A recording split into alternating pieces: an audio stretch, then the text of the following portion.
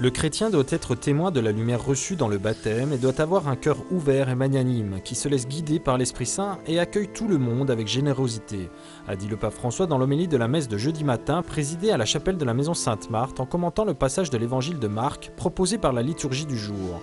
Étaient présents chacun des prêtres qui ont fêté avec le pape François les 50 ans de leur ordination.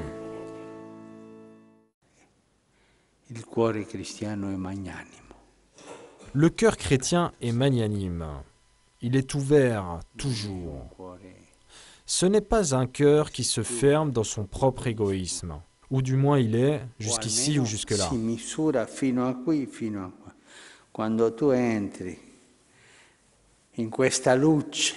Quand tu entres dans cette lumière de Jésus, quand tu entres dans l'amitié de Jésus, quand tu te laisses guider par l'Esprit Saint, le cœur devient ouvert, magnanime. Il cuore viene aperto, magnanimo.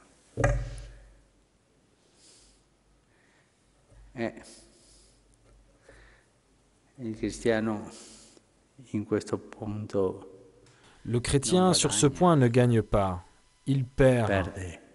Mais il perd pour gagner autre chose. Et avec cela, entre guillemets, il est détaché de tout intérêt. Il gagne Jésus. Il gagne en devenant témoin de Jésus. guadagna